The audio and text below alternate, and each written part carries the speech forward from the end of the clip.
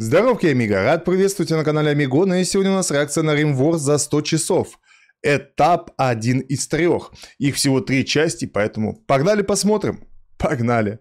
Времени бытия. Вы на пороге Опа. открытия новой рубрики «За 100 часов», которая направлена на изучение механик игры за определенное время, с целью становления в ней продвинутым игроком, который сможет проходить игру без особых проблем даже на самой высокой сложности. Можно сказать, что это та же рубрика 100 дней хардкора, либо 50 забегов с нуля, только для стратегических игр со сложными механиками, кучей информации и подобным. Саму рубрику сотни часов я разделил на три этапа, или же три видоса. Это освоение, где я только начинаю погружаться в атмосферу игры, закрепление, где я познаю все механики игры, и внедрение, где я на самой высокой сложности попытаюсь использовать все полученные Так, знания интересненько. и пройти игру. RimWorld стала первым кандидатом, и скажу вам, что даже после первого неудачного сценария я был просто в шоке, насколько сильно все может измениться всего в один миг. Возможно, 100 часов для RimWorld это маловато, тем не менее я постараюсь сделать для вас контент как можно интересней, даже если вы никогда не играли в эту игру. Но все по порядку. Начинаю историю сразу же после небольшого отступления. Я частенько пользуюсь смартфоном, как и наверное. RimWorld довольно необычная игра, я бы сказал, в которой ты можешь делать много всякого непотребства, что в дальнейшем может привести к Это, это мы уже знаем из обзоров а, Вейленда и Сета. Знаем великолепно. Великолепно зна- познакомились с этой игрой. И и 2D мы уже посмотрели тоже по Римворду. Очень много авторов а, сняло Римворд. И я, я реально могу сказать с уверенностью, Римчик, он прям... Он, это зачетненькая игра по-своему. Но я в нее не играл. Ну, благодаря обзорам я о ней просто знаю. предсказуемым событиям. Но в этом-то и есть суть. Сделать сценарий подобный голливудскому фильму. Вот это я понимаю. В общем, первый этап у меня занял ровно 7 часов. И, кстати, время, проведенное в игре, я оставлю вот здесь, чтобы вы примерно понимали, на каком я фрагменте прохождения. За это время я полностью смог ощутить, какая задница меня может ждать в дальнейшем. Я прошел обучение, в котором понял самые примитивные вещи, о которых можно было догадаться и самому. Но где же объяснение более сложных моментов игры? С этим игра мне сказала знакомиться самостоятельно. Я не стал продолжать свое прохождение в обучающем мире. Как-то это неправильно получается. Лучше начать с нуля и сделать все самостоятельно. Так я научусь играть быстрее. Ознакомительное соло прохождение я начал с стандартного сценария. Аварийная посадка, и это логично. Рассказчица Кассандра классическая, со сложностью борьба за выживание, чтобы не было слишком легко или сложно. Золотая середина сейчас в самый раз, чтобы понять, что происходит в этой игре. И главное, ответственный режим. Без него, как по мне, интерес к игре будет значительно меньше. Настройки мира дефолтные, довольно долго выбирал место приземления и все-таки выбрал вот эту точку в тропическом лесу. Как мне показалось, это довольно легкая местность. Еще дольше времени у меня занял процесс выбора персонажей. Я очень старался подобрать их так, чтобы у меня были все навыки, ну или те, которые я посчитаю нужными в данный момент. Возможно, я просто найду скоро еще кого-то из людей и восполню недостающие навыки. Первый персонаж. Саня, Санечка, Санечек. У нас будет человеком большого ума, который отчасти является пацифистом, но при этом обладает кучей других полезных навыков. Надеюсь, он не умрет от старости, ведь Саньку уже 86 год пошел. Да, катарактой страдает. Второй персонаж Михаил Говноедов, или же Мишаня. А вот Мишаня лучше не злить. Мало того, что у него эмоциональная нестабильность, так он и хорошенько может кого-нибудь разъебать. Ну и ремеслом владеет достаточно хорошо, знать бы еще каким. Степан Степаныч. Обычный работяга, который привык работать на заводе. К сожалению, он забыл о простой работе. Ему под силу только долбить скалы до конца жизни. Кстати, в данный момент я смотрю только на статы персонажей. Меня абсолютно не волнует его черты характера и что он не может делать. Главное, чтобы делал свое дело. Трое работяг приземлились на планету, и я сразу же начал вспоминать, что я делал в обучении. Сначала разместил склад, потом захотел построить неподалеку небольшой домик, чтобы парням было где спать ночью. Но не найдя гребаные стенки, принялся к другому занятию. А именно разрешил мужикам отнести все на склад. В данный момент я обильно использую паузу, и просто куча времени уходит на то, чтобы банально найти в проектах то, что мне нужно. Приказал мужикам долбить какую-то породу и срубить все близлежащие деревья. Думаю, дерева мне понадобится очень много. Разместил небольшое помещение 11 на 7 и сразу решил нанести деревянное покрытие. Где-то же все равно будет подвох потом. Где оно же будет потом подвох. Ибо из обучения я понял, что покрытие поверх мебели ты уже никак не нанесешь. Чуть ниже дома сделал небольшой сад, где посажу рис. Поставил три самые обдристанные кровати и факел рядом с ними, чтобы ребята ночью кровать друг друга не перепутали. Самое важное, не забыл сделать крышу. К вечеру вечеру поставил проекты самой обычной плиты, и рядом с ней стол для исследований. Как говорится, в тесноте, да не в обиде. Время подошло к ночи, и мужики отправились отдыхать. Проснувшись, Степаныч пошел долбить скалы, Мишаня складировать ресурсы, а Санечка добывать дерево. Все идет просто чудно. Я уже потихоньку начинаю влюбляться в эту невероятную мужицкую атмосферу. Почему бы не сделать отдельное здание под склад, подумал я. Нужно срочно этим заняться, а то разбросанные по земле вещи смотрятся очень неэстетично. Да и мало ли кто-нибудь их спиздит. Как было написано в уведомлениях, мне нужно построить загон. Его я как раз таки и начал строить возле дома. Исследованием я выбрал солнечную панель. Если честно, я просто не знал, что мне выбрать. Солнечная панелька по-любому пригодится. Прилепил ее и не мучаешься с энергией, подумал я. Когда я увидел, что мужики кидаются подковами в здание, я подумал, что с какого-то хуя начался бунт. Но вроде никаких уведомлений не было. Это я просто назначил в распорядок дня 3 часа принужденного развлечения. Хм, звучит Это такое принужденное развлечение подковы кидать? Что? Я сказал с долей коммунизма. Нужно Ладно. перенести в другое место эту хренотень. Утром я нашел залежи стали и сразу же приказал нашему Степанычу отдолбить их. Я пока что не очень понимал, почему никто не занимается исследованиями. Но ладно пока, пусть работают. Этим днем загон и склад были готовы. Мне прислали уведомление о том, что нужны оборонительные сооружения. Ну а я чё? Я и построил баррикады из дерева, потому что на мешки с песком у меня не было ткани. К ночи мне впервые пришел торговец, у которого я ничего не купил из-за непонимания, как торговаться мяса. Загон я, кстати, построил для своей якобы прирученной лошади, которая почувствовала себя носорогом. И легла спать рядом с ними. Я не понимаю, как загнать эту скотину в загон. Этим днем я наконец понял, что нужны стулья. А что с лошадью? Они же обычно стоя спят. А куда она сложилась? А... Для того, чтобы мужики могли где-либо работать, кушать и так далее. Пока я собирал табуреты, как когда-то на уроках труда. Хотя, подожди, а какой... Почему я пытаюсь включить какую-то здравую логику? Зачем?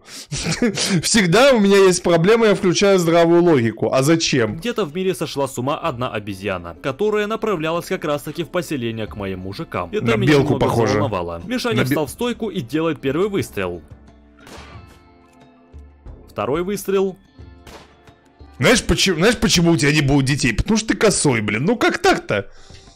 Обезьяна подошла вплотную, и я жду, пока будет еще один выстрел, но он не стреляет впритык. Тут я понял, что нужна рукопашка, и суровый Мишаня запиздил бедную сумасшедшую обезьянку. Это была моя первая битва. Мишаня истекал кровью, и я не знал, как ему помочь. Да и в целом всем было на него насрать. Увидел во вкладке здоровья, что ему не так уж и плохо, поэтому волноваться не стоит. Следующим утром, наконец-то, Степаныч приступил к исследованию солнечных панелей. Внезапно мне предложили назвать свою фракцию и мое поселение. Название фракции «Стальные мужики» и поселение «Вайтран» экран. Думаю, звучит неплохо. Мишаня, кстати, уже выздоровел и полностью приступил к работе. Ночью, пока все спали, я решил расширить дом и начал планировку. Все-таки из-за маленького места у них плохое самочувствие, и к тому же исследование длится очень медленно. Стройка шла полным ходом, в то время как к нам завалился незваный гость с враждебного племени. Я сразу выстроил мужиков в шеренгу и начал готовиться к бою. Думаю, нам стоит напасть первыми, но кто же знал, что Мишаня и Степаныч ебучие косые дятлы, которые начнут стрелять во врага через слон слонов. Хватило два попадания, как на нас сагрились три слона. Сначала под удар пришелся Санек, потом в расход пошел Степаныч, а потом и Мишаня. Пока слоны гнались за Степанычем и Мишаней, неандерталец другого племени попытался втихую спиздить Санька. Не знаю даже для каких целей. Слоны бросились и на него. И как я считаю, это вполне справедливо. Минус вонючая падла. И думаете, что это все? Как бы не так. К нам в райончик пожаловал какой-то незнакомец в черном, который, возможно, хотел нас как-то спасти или арестовать того, кто на нас нападал. Но к большому сожалению, слоны запиздили и его. Какова мораль? Не трогайте бедных слонов и не давайте своим дебилам стрелять раньше времени. Первый... Это как э, в Far Cry. Не надо лишний раз трогать носорогов, э, либо медведей. А лучше носорогов вообще не трогать, ну их нафиг. Я, я никогда не забуду, как, как бегал от носорогов просто в четвертом Far Cry. Это незабываемые впечатления, честно. Первым скончался Степаныч, вторым Санечка, а вот суровый Мишаня держался еще целых два дня. Но, увы, это конец моего первого сценария. Второй ознакомительный сценарий я бы назвал целой Сантой Барбарой. И я очень удивлен, что девчачье такое племя? небольшое количество времени в игре меня... Походу и вправду девчачье племя будет. встречают первые истории, о которых уже можно делать целый рассказ. Все то же самое, кроме персонажей. В данной истории у нас присутствуют три женщины. Не знаю даже как так вышло, но менять скиллы мне уже не хотелось. Мария Петровна, Зоя Николаевна и Светлана Светочка. Они давали мне следующие навыки. Прошу заметить, что никто из них не умеет готовить. Чисто суровые средневековые бабоньки. Я сразу же начал с обустройства дома, и теперь он будет чуть больше, чем в прошлый раз. Засадил картофель, к большому сожалению, к ночи не была готова третья кровать. И бедной Светлане пришлось спать под кустом в куче дерьма. Утром я отправил женщин копать золото. Ну, зато тепло, зато что тепло.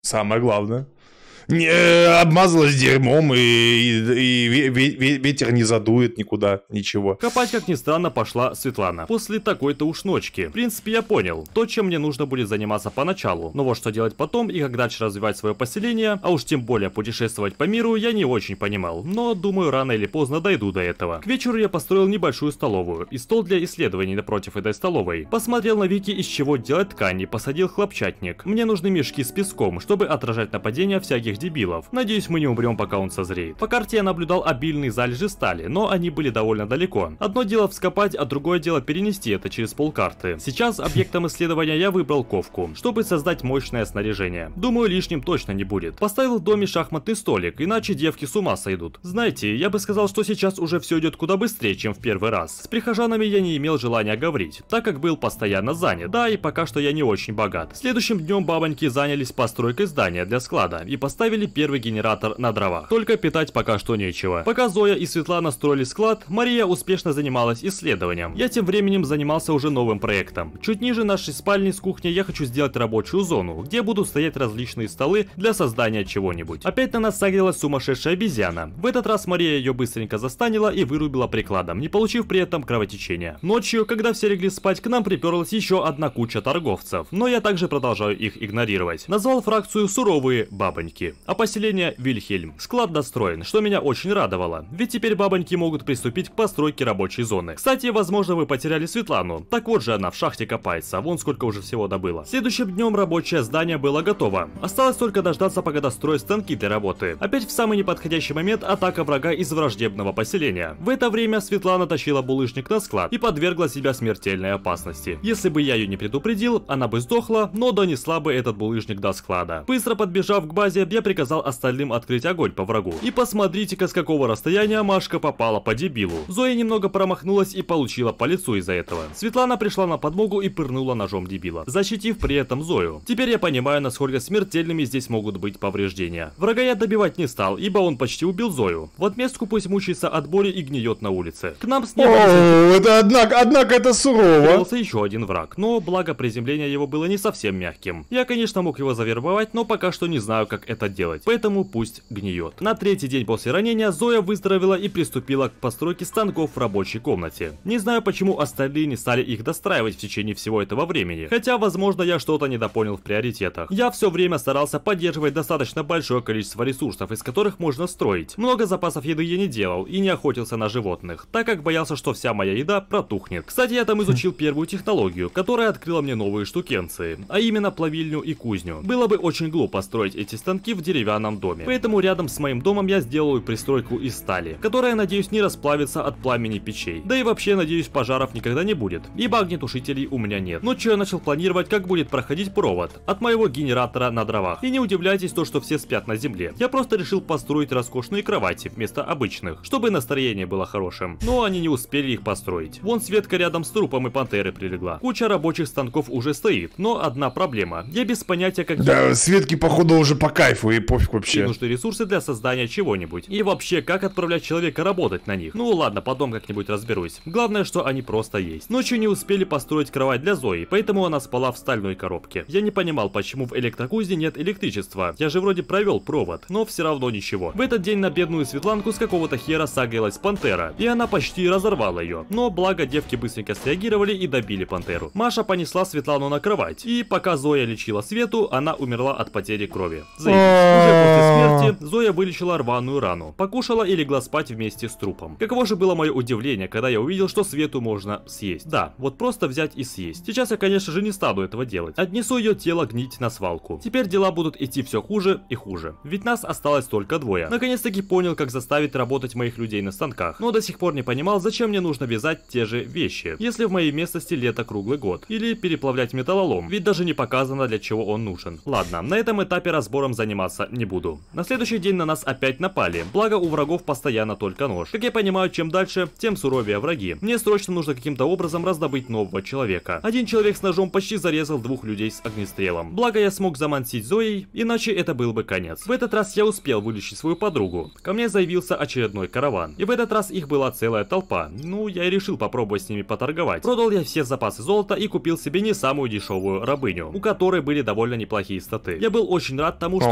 у меня пополнение в поселении. Но, кстати, моя рабыня является пацифистом, поэтому боевой мощи мне не прибавилось, только рабочая сила. Ну и так сойдет. Наконец созрела картошка. Ну, мне кажется, или они жрут ее сырой. Ладно, их дело, конечно. Наконец-таки до меня доперло, что в моей кузне просто не хватает электричества. На следующий день впервые за станок села рабыня. Переплавила немного чего-то, а к вечеру она села выковывать булаву в кузнице. Но, кажется, так ее и не закончила. Она просто осталась там лежать и к ней она больше не приступала. Поставил еще один генератор и кондиционеры. Тропический лес как-никак. Жарко, наверное, в помещениях у них. Созрел хлопчатник. Слушай, а он прям активно проходит. Это всего лишь-то 4 часа игры.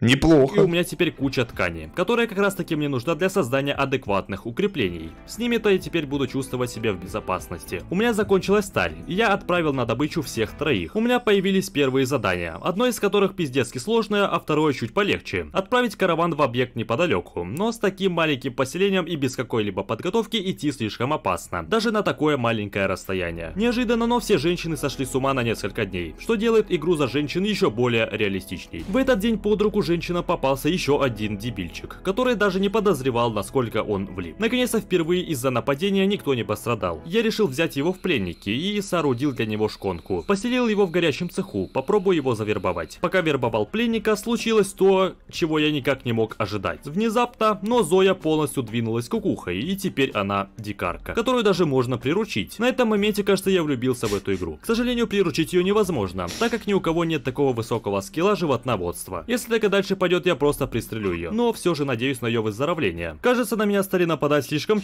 Какого ч... Она просто стала дикаркой, в смысле, как это вообще возможно? Часто. В этот раз Бумалопа. Одичала. она взорвалась. И я, если честно, удивлен, что Машу не разнесло в Одна ма- Манька осталась. Одна бедная Манька осталась выживать. Ставил моим двум рабам самый высокий приоритет к пожаротушению, чтобы огонь не успел перекинуться на дом. Я не выдержал и пошел охотиться на Зою, ибо ее предательство почти закупило всю колонию. Но на удивление, Зоя смогла вырубить Машу и побежала мстить дальше, уже к рабыне, которая в то время тушила пожар ладошками. Свершилось чудо и пошел дождь, потушив все возле дома. Но на этом чудеса заканчиваются, так как рабыня не может наносить вред никому. Это ее черта. Поэтому истекающая кровью, впавшая в ярость животное Зоя гналась за моим последним человеком в колонии под проливным дождем. И гналась она за ней достаточно долго. Но все же к ночи ее пыл спал. Маша спасена. Под вечер уже следующего дня случилось короткое замыкание. И мой заключенный сгорел в муках. А ведь я столько времени и ресурсов потратил на него. Дальше я просто потерял весь смысл бытия. Случилось настолько много дерьма, что я решил покончить со всем. Взял Зою в заложники и посадил в тюрьму, после чего перерезал ей горло. Ведь если бы не ее предательство, возможно мы бы до сих пор были процветающим поселением. Далее я взял под стражу рабыню и тоже перерезал ей глотку. После чего отнес всех гнить на свалку. На самый конец же я оставил битву Маши против носорога. И как вы могли понять, Маша проиграла. А носорог опять убил моего последнего спасителя. Вот и конец второго сценария. Я не представляю, какое множество событий меня ждет впереди. И я даже боюсь представить, на что способны жители поселений. Меня ждет еще целых два этапа, которые будут намного длиннее и интересней. Это был самый легкий этап, и я успел вдоволь насладиться и проникнуться игрой. Теперь я со спокойной душой или oh. не совсем спокойной смогу ее изучать вдоль и поперек. Надеюсь, вам понравился небольшой кусочек начала развития этой рубрики. Обязательно сообщите об этом. А с вами был я. До скорых но, в принципе, в принципе, вполне даже любопытненько. Если бы, например, а, я бы хотел бы вот сейчас бы порубиться а, в Римворд бы, я бы именно такой бы, наверное, видос и искал бы. На самом деле, честно скажу. Потому что э, смотришь иногда обзоры, на них рассказывать не нужное тебе иногда. Порой обзоры бывают вообще прям, ну, такие. Не хочется прям. Вот прям где занудно объясняют там, как игра устроена, какие там классы, там все наперед. А когда вот так вот вот а, прям заманивает. Когда вот так вот, вот а, рассказывают, вот, так вот, такое вот развитие, всякие, всякие э, развилочки, прикольненько. Смотришь и думаешь, блин, я бы в эту игру поиграл бы. Вот, и я думаю, что у многих людей это видео вызвало желание поиграть в Римборд, даже не удивлюсь. Вот, а, что ж, ребята, что ж, ребята, всем спасибо за просмотр, подписывайтесь, кто не подписан, увидимся в следующем видеоролике. Всем пока-пока.